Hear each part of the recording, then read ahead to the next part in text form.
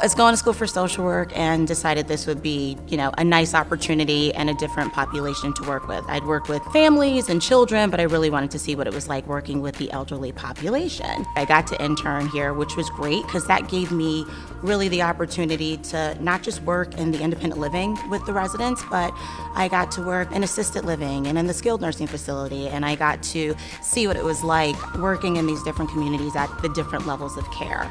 Eventually, I was asked by someone in the Human Resources Department if I would be interested in applying for the social services position over at Monroe Village at the skilled nursing facility since I was going to be finishing with school. And of course, I was, you know, ecstatic, really excited about that.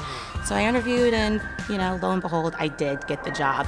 There's a lot of opportunity that's here, and it's exciting, and it makes you want to continue to grow and see, you know, not only how you can be of a value to the company, um, but also, you know, what you can get in return. There's volunteer work that you can do. They have Alzheimer's walks that I've participated in.